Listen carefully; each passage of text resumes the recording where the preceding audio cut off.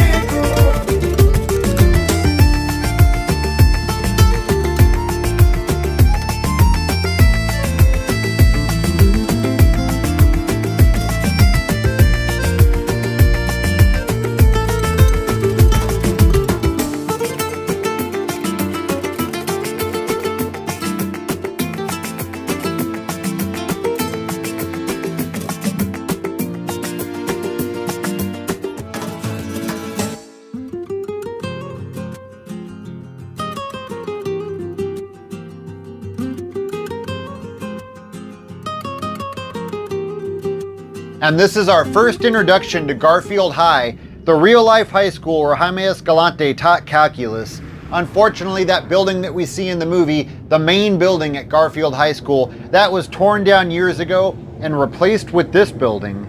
However, it seems like the rest of the school, all the other buildings here, they're original. Nothing else was torn down, just the building that we want to see. So like I said, there's pretty much no information about the filming locations for Stand and Deliver, and really the only thing that you can find online is that they use two different schools, one of them being Garfield High, the real life high school where Jaime Escalante taught, and the other one being Roosevelt High School, which supposedly was Garfield High's crosstown rival. But after doing a lot of investigating, I was able to figure out that they used at least three different schools for the movie, and we'll get to that in a few minutes. Mr. Escalante arrives at Garfield High for his first day of teaching, thinking that he's going to be teaching computers, but he quickly finds out that Garfield High has no computers. Instead, they throw him into teaching math. He finally arrives in his classroom and finds a bunch of students that don't want to be there and don't want to cooperate. Now here's the bad news. His classroom, and keep in mind a lot of the movie takes place in his classroom, along with the halls, the library, pretty much all of the interior shots, those were all filmed at Roosevelt High School in the R building. Uh, right here behind me is Roosevelt High School, and you can probably tell that that's not an original building. It was somewhere right here in this area where the legendary R building used to be, which had a lot of history, but in 2019, they tore down the R building along with a lot of the filming locations for Stand and Deliver, and I've actually only been able to find one location here at Roosevelt where you can still match up a couple of scenes. So after a very long first day of teaching, Mr. Escalante heads to his car to find out that they've not only broken out his window, but they've also stolen his radio. He comes out of those gates over there. Well, probably not those gates because as you can see, this has all been remodeled. That building wasn't even there at the time, but it was right over here where his car was parked. And we can tell by this lamppost, you can see that right behind him when he's getting into his car. And if you look really closely, the shape of the lamppost is exactly the same. And this is actually not the last time we're going to see the parking lot here at Roosevelt High School. So he returns to the classroom despite all the problems, and that's when Richie and Fingerman, aka Angel and Chuco, show up and they make his life just a little bit harder. This is Hollenbeck Middle School, located right across the street from Roosevelt High, and like I said, I was able to figure out that they used more than Roosevelt and Garfield, and at least a few outdoor scenes were filmed here at Hollenbeck Middle School. So Chemo, as they now call him, is walking with one of his coworkers, talking about teacher stuff, and they were walking right here in between these two buildings. You can see all of those bushes and windows and those pillars. As he gets to the end of the building, he sees Tito leaning up against a wooden wall talking to a bunch of girls. He's walking right here on this path, and right about here is where that temporary wooden structure was. And you can see that tree and that pipe with that shutoff valve on it. If you look right behind Mr. Escalante, there's the tree and there's that shutoff valve. Also, pay attention to those like ridges on the bottom of the wall.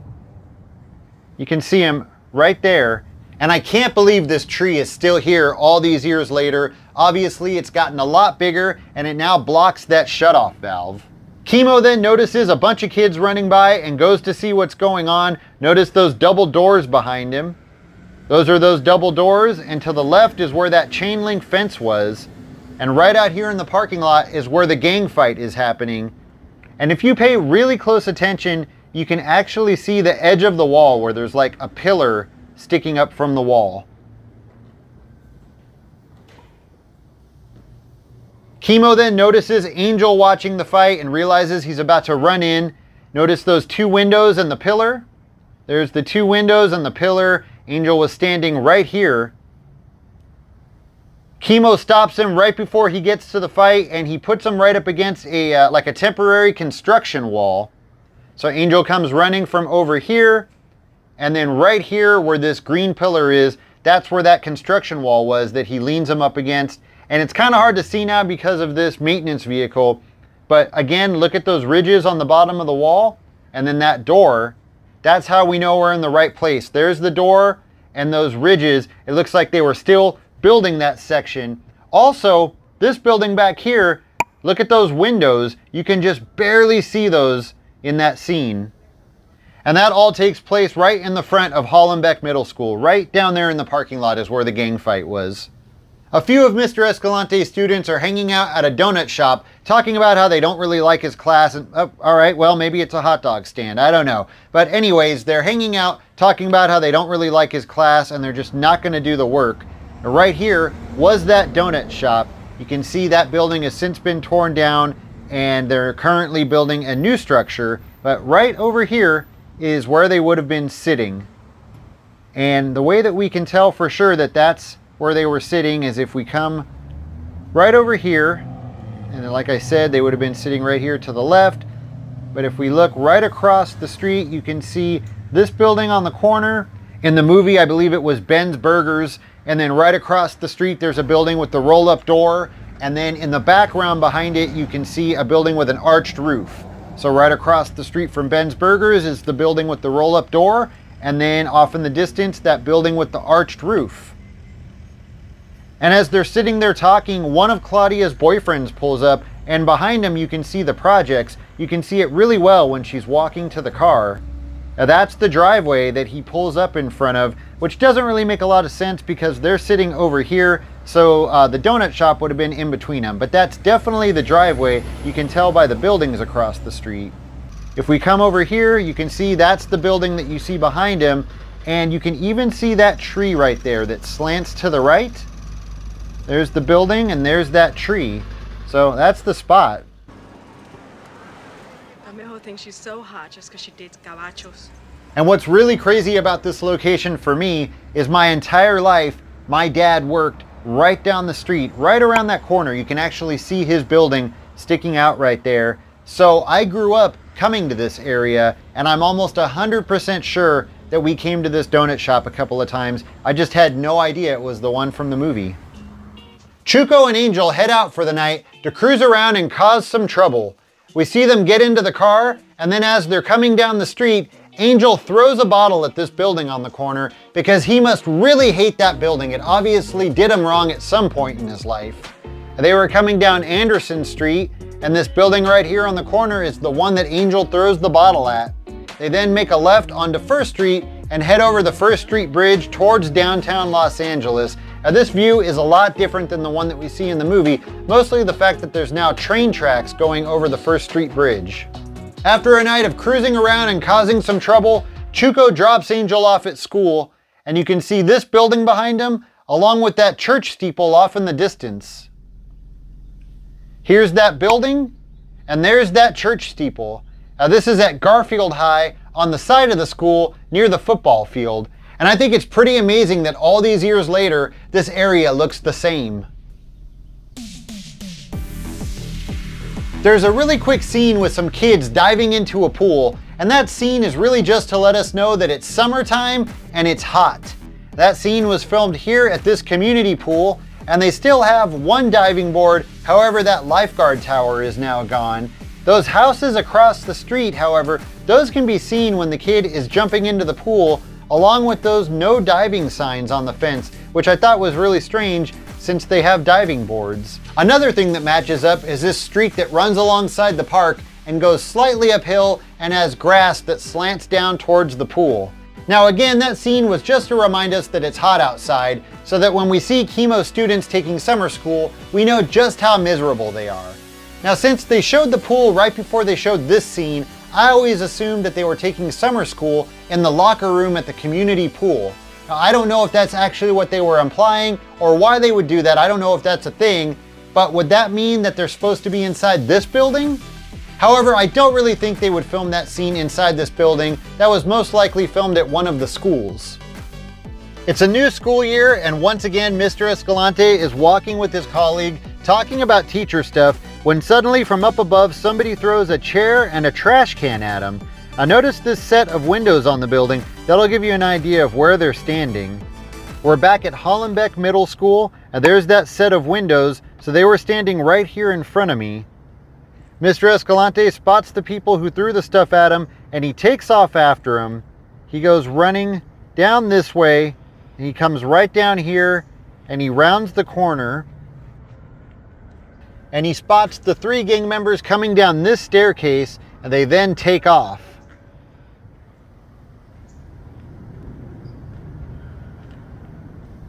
And they go running up this hill, and my favorite is the last guy who swings the chain around his head before he then runs away. This is the hill they run up. It's now missing that tree. And the three tough gang members are still running away from the elderly school teacher. And they were coming down this path. And as they move past the building, notice that drinking fountain. There it is. They then head down to the end of the building and they round the corner, knocking over one of Mr. Escalante's students. And they run down the hill and hop the fence. And right here is where Mr. Escalante was standing, watching them run down the hill. I came outside of the school on the other side to show you. Right up there is where he was standing. He watches them run down this hill and hop the fence. And that cage right down there, I'm not exactly sure what that is, but you can see that as they're running down the hill. There, you can see it right there. And then as they hop the fence, you get a pretty good shot of those houses across the street, which are now pretty well covered, but if you look closely, you can still match them up. Pancho tells Mr. Escalante that he's not returning to his class, he's dropping out to become a mechanic. That night, they go for a drive in Pancho's car, and at the last minute, Chemo asks Pancho if he should go left or right. Of course, this is just a big lesson about making sure you choose the right path in life. So they were coming down First Street, and right here in the intersection, there used to be a fork in the road that would take you onto First or Pleasant Avenue. And in the movie, they cut to the right and they go down Pleasant Avenue, which is no longer here because this is now where Mariachi Plaza is. So because Mr. Escalante's students are trying to learn calculus and be ready for the big test, they're working extra hard and showing up at school before anybody, and the custodian has to let them in. We see him walk right here past these shutoff valves, and you can see all those vents on that wall back there. And right here in front of this gate is where Lupe and Pancho are waiting to come inside the school. And this is at Garfield High on the side of the school, not too far from that area where Angel gets dropped off a bit earlier in the movie. And this is another area that I'm happy to say looks really similar to how it did in the movie. I don't really see too many changes here. So along with teaching his regular class and making appearances at junior highs, And he volunteers to teach night school for free. he's also teaching adult school for free. Now, this is the adult school that he was teaching at. Now, this is also at Garfield High. And this building looks exactly like it did in the movie, with the exception of that neon sign. I wish it still had the neon adult school sign, but other than that, it looks exactly the same. Now again, since they show that building, you would assume that that's where he's teaching class, but you can tell he's in a regular classroom, and when he's having the heart attack, he's now back in the R building at Roosevelt. You can see this is the backside of the adult school building. It doesn't attach to the main school, and it's definitely only one story, no stairs for him to come falling down. And also in real life, it wasn't a heart attack that he had. Uh, I believe it was a gallbladder flare up. So after the kids take the big test, they all go to the beach and run into the ocean to blow off some steam and release all that tension that they had built up. That is, except, of course, for Angel. He doesn't want to get his khakis and his Pendleton wet. Angel was standing somewhere right about here on the beach. You can see all of these buildings behind him, along with this hillside. So all of his classmates continue to taunt him until finally he gives in and strips off all of his clothes and he goes running towards the ocean. And when he does, you can also see this taller building.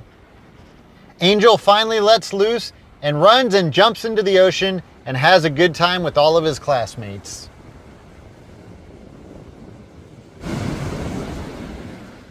Now this next location might be one of the craziest locations I've ever found and I'll explain why. So Pancho's at his house, he's working on his car, he's underneath it, and he sees the mail being delivered, and he realizes that his test results are probably in that mailbox. So he gets up and he walks over and he gets the mail. So my wife and I are trying to figure out where Pancho's house is, and we're really frustrated because there's just not a lot of clues, and we're about to give up. And I jokingly say to my wife, wait a minute, when he gets the mail out of the mailbox, it has his address on the test results. And she kind of, you know, gives me a look because it's ridiculous to think that they would use the real address on that piece of mail. It's one thing when you see the address on a house, but to actually put it on a piece of mail in the movie, it just doesn't make any sense. But I was desperate and I had nothing else. And I'm like, you know what? I'm just going to Google that address and see what comes up. And sure enough, they used the real address on that piece of mail. Now that's not even the crazy part. When Pancho's getting up from underneath his car, you can see a truck parked right behind his car. Uh, right behind me, that's Pancho's house. There's that truck. It's been parked in the same spot for more than 30 years. I mean, when we saw the house on Google, we couldn't believe it. But then we noticed a truck in the driveway and we zoomed in and we were floored when we realized it was the same truck that you see in the movie. But so anyways, right there, that's where Pancho's car was, right in front of the truck. Right there at the end of the driveway is where the mailbox was. And you do see this house right here pretty well when Pancho's walking back up the driveway. I don't believe that's supposed to be his house. I think that's the neighbor's house. Mr. Escalante and his students get together and have a meeting on the bleachers at Garfield High after he receives a letter telling him that it's believed that all of his students cheated on the test. Now, a lot's changed out here, but you can see this building behind the students in a couple of different shots. All of the students are gathered around Mr. Escalante as he reads the letter. Now, I don't know if these are the same bleachers that we see in the movie. I know definitely that railing around the bleachers has been changed.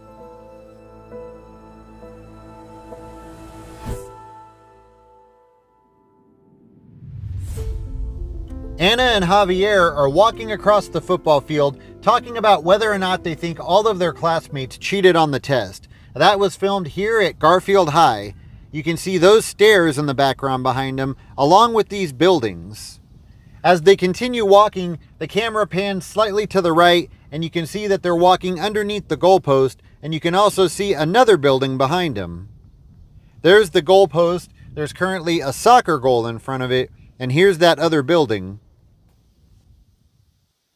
Pancho has a little meltdown when he starts having car problems because if he would have just dropped out and got a job, he could have had a new car by now. Behind him, you can see the building with the Garfield High logo on it. That was filmed right here behind Garfield High School. That building is currently blocked by this fence because they're doing construction back here. And a lot has changed back here since they made the movie, but thanks to that building, that's how we know where this scene was shot. Chuco and Angel are once again cruising around, doing nothing, getting into trouble, and that's when a cop car pulls up next to him, and Angel decides to mess with the cops. Of course, no surprise, they tell him to pull over, and they end up stopping him next to a bridge and harassing him. And it was somewhere right out here in the dirt where the cops are messing with Chuco and Angel. You can see the First Street Bridge behind them. Their cars would have been over here, and the camera would have been somewhere over here. There's now a fence I think they use this as some kind of a storage area now. But there's a shot where you can see the First Street Bridge on the left side. You can see a building on the other side of the LA River that's since been torn down. And this is pretty much the shot. You just can't see uh, the dirt in front of me where their cars are parked because I can't get far enough back because of that fence. After the cops leave, Chuco's obviously angry and he shoves Angel down to the ground. And as Angel's walking away, you can see some arches underneath the bridge behind Chuco. You can see there's some of those arches right here, and there's also some here that have since been covered up, I think because of the storage area. I'm pretty sure those are the arches you see in the movie. And then we get a shot of Angel walking away from the bridge as Chuco gets into his car and drives away, and he makes a left underneath the bridge. And the camera would have been right about here, but again, because of that gate and the storage container, you can no longer see the bridge, and we can't really get that same shot. Mr. Escalante is leaving the school when he looks up and notices his car is gone. That was filmed at Roosevelt High. This is the same area that we see earlier in the movie, and again, it looks a bit different because things have been remodeled. You can see some of the houses across the street when he's trying to figure out where his car is, and that's when his coworker pulls up.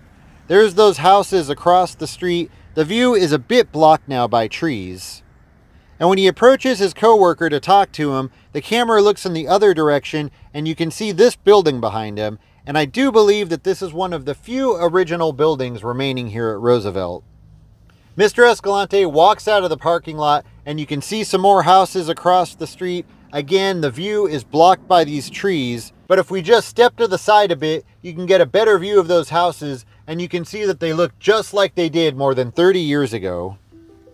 Mr. Escalante is now walking all the way home. We see him walk past a freeway, and you can see a sign for the 5 freeway and Vignes Street. He was walking along Soto Street near the intersection of Soto and Marengo, and that freeway sign has since changed a bit. And of course, we learn a bit later that they didn't steal his car, they just borrowed it for a bit so they could fix it up for him. Mr. Escalante heads downtown to talk to Pearson and Ramirez, and the building that he goes to is the Hall of Justice in downtown LA, and the camera is shooting from right here on Hill Street. And amazingly, the view from Hill Street is exactly the same as it was in the movie more than 30 years ago. Of course, just that palm tree has gotten a lot taller. So all of Mr. Escalante's students end up returning to retake the test. And at the end of the movie, he finds out that every single one of them passes for the second time. We then see Jaime Escalante walk down the hall and leave the school. And this is on the second floor of the R building at Roosevelt High School. This is the same hall where his classroom was located, and we see him and Angel walking down this hall earlier in the movie. Well, that is going to do it for this video. As always, thank you so much for watching, and I'll see you next time.